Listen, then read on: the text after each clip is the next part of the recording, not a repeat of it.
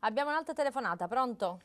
Eh sì, buonasera, salve. Buonasera. Sono Rossella Mesto del Comitato San Giorgio Mare. Salve. Salve, Buonasera.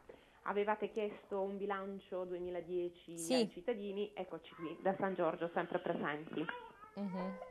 Possiamo testimoniare. ok, vero, eh, oh, perfetto. sempre, sempre presenti. Che, Allora, mm, Bilancio 2010, diciamo io posso fare un bilancio per i due anni della mia presidenza a comitato, Sì. Mm, una presenza in campagna elettorale abbastanza presente da parte di tutti, destra e sinistra, una dimenticanza da parte di tutti, destra e sinistra. Il comitato è apartitico e apolitico, anche se fa politica in primo piano con i cittadini del quartiere, però ehm, assolutamente un, ehm, un bilancio non negativo, ma fermo, bloccato, bloccato dalla mancanza dei fondi, mon- bloccato da eh, soldi che patto di stabilità, bloccato da impossibilità eh, probabilmente di, ecco, sempre di, di- di finan- di- di finanza.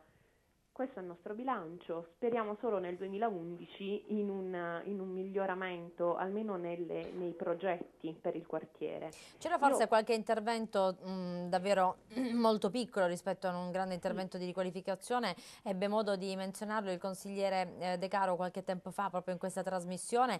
Eh, non so se sono già iniziati i lavori, lei No, magari avrà più Questo contezza. no, infatti Mm. ci confermò che c'era in bando questi 200 metri di muretto e marciapiede rispetto ovviamente ai due chilometri della costa di San Giorgio. Questo Mhm. non significa che verrà rifiutato assolutamente, è un buon inizio. Ehm, però eh, non è solo il muretto e il marciapiede il quartiere, abbiamo Mhm. chiesto anche noi la, la- la differenziata perché avendo anche delle case con dei giardini avremmo potuto avere i bidoni Eh, all'interno. Abbiamo parlato con l'AMIU ma sono sempre grandi progetti che vengono messi da parte perché ovviamente probabilmente ci sono delle esigenze diverse, più, più- più grandi, me ne rendo conto. Io la domanda che spesso mi pongo da cittadino, ecco, non, non da, da comitato, è il perché spesso si tende a migliorare sempre un quartiere già eh, in espansione, come anche quello di Epige, per l'amor di Dio, fa parte della nostra circoscrizione, quindi va bene.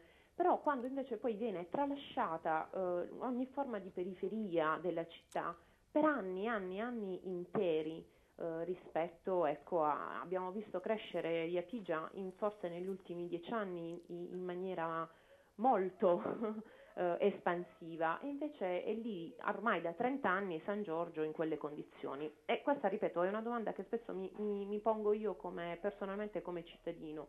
O San Paolo, il San Paolo idem mh, è cresciuto tantissimo in questi ultimi anni e, e nuovamente dei fondi o, o delle, delle ricchezze per quartieri già in espansione.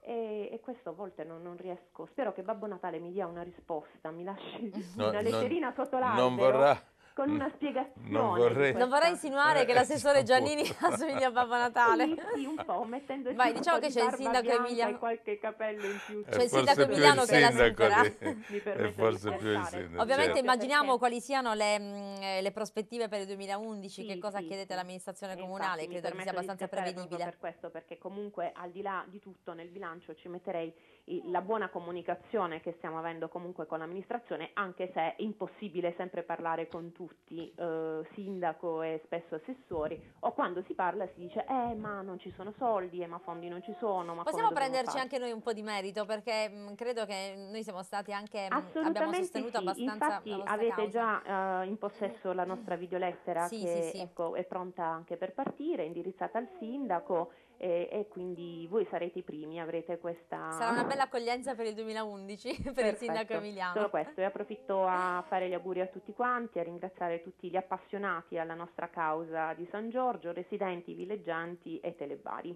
Grazie mille, tanti tanti auguri, buon Natale e buon anno. Arrivederci. 08501 9998 per intervenire in diretta, ne abbiamo parlato tante volte, però credo che eh, la riqualificazione di San Giorgio debba essere uno dei punti da porre all'attenzione dell'amministrazione Vede- Emiliano per i prossimi anni. Eh, Io vorrei soffermarmi su un aspetto che ha toccato la signora. Non è vero che l'amministrazione comunale torna sempre sugli stessi quartieri, perché con questa iniziativa di- che abbiamo messo in campo con questi piani di riqualificazione. Abbiamo toccato un po' tutta la città, da Iapigia a San Girolamo, eh, a- al San Paolo, a, Carrassi San Pasquale.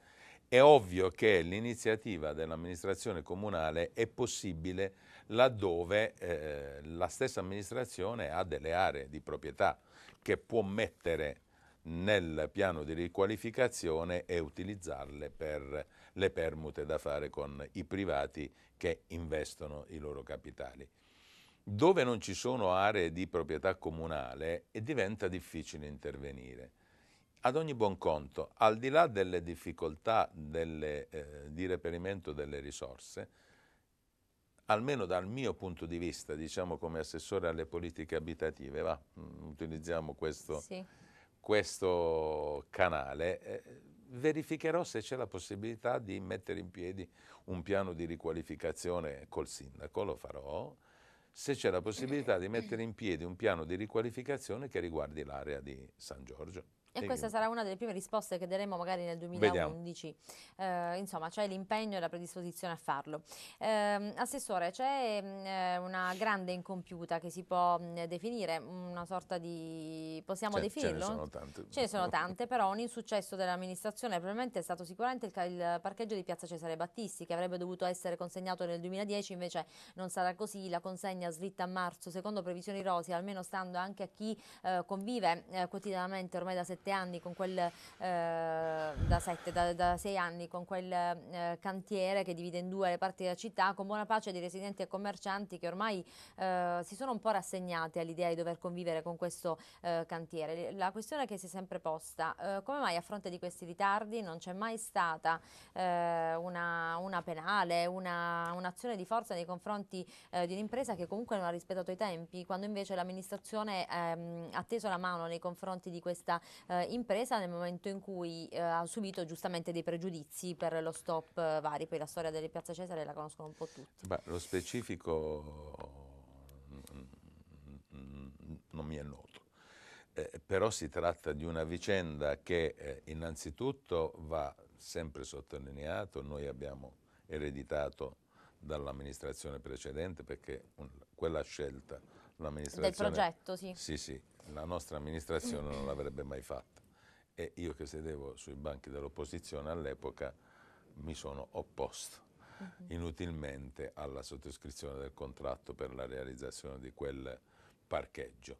E poi c'è stato un intervento della magistratura che ha dilatato i tempi eh, fino a che non si è definita la questione e adesso non, non conosco bene le ragioni dell'ulteriore ritardo, ma credo si tratti di questioni di carattere tecnico e ormai siamo quasi alla fine, ma con i commercianti della zona l'amministrazione comunale ha sempre avuto un'interlocuzione fattiva e diciamo anche di, di, fatta di disponibilità.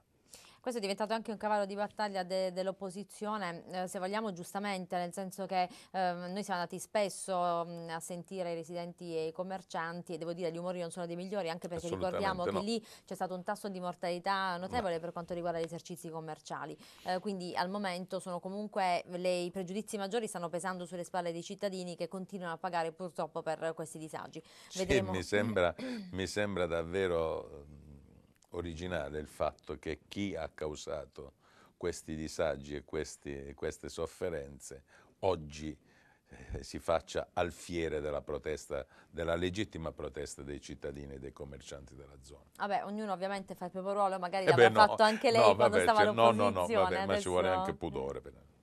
Eh, c'è un'altra questione che eh, volevamo sottolineare, che ci è stata sempre segnalata da alcuni cittadini. Ehm, eh, c'è un contratto di, ehm, di manutenzione eh, affidato ad un'azienda che dovrebbe occuparsi, ad un'impresa che dovrebbe occuparsi di mettere online di trasmettere le dirette del Consiglio Comunale in streaming. Da una verifica che abbiamo fatto, effettivamente questo non avviene, neanche le sedute eh, più prossime, eh, quelle registrate, vengono inserite nel sito soltanto dopo molto molto tempo. Come mai? No, e questo non, non, sono in grado mm. di rispondere a questa domanda, lo faremo nella prossima puntata. Sarà una questione di cui ci occuperemo perché tra l'altro sono molti cittadini che hanno eh, sollevato questo problema, magari Beh, si farà faremo, carico anche lei di affrontarlo. Eh sì, facciamo sì. la verifica e poi... Anche nel nome della trasparenza.